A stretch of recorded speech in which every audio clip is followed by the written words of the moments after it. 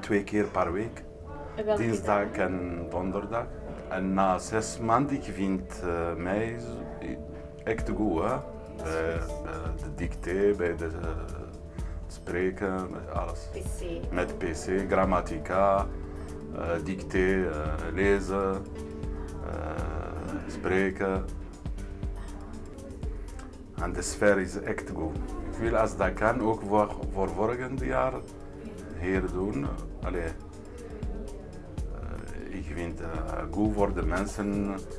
En, en, ook, ik vind ook, de, als is sfeer goed eh, en, eh, en de mensen komt naar hier en hij vindt het heel sociaal en, oh, en, en de mensen komt met eh, veel plezier naar hier.